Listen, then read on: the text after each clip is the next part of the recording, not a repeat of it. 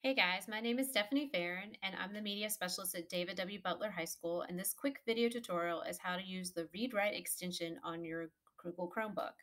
I'm currently sitting on my daughter's Google Chromebook. She's a CMS student, so you can see exactly how it works. So I'm in her Google Drive and I've selected a document. Doesn't matter what document, Read Write works on every type of platform a website, a document, a Canvas page, a PDF. It doesn't matter.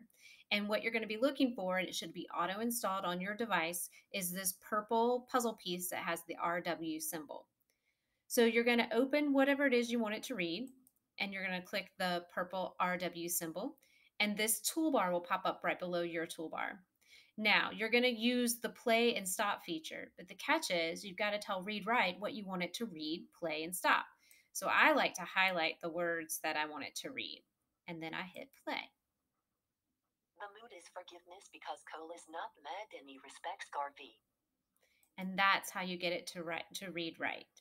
Okay, so if I'm on a Canvas page and I want it to read something, I can just highlight it or put my cursor there, throw read write up, and then hit play. Grade 8 Digital Citizenship.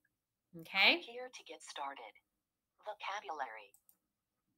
The first time you use Read Write, you have to enable it with your Google Drive, but it will work on any website and record anything. Good luck and happy reading!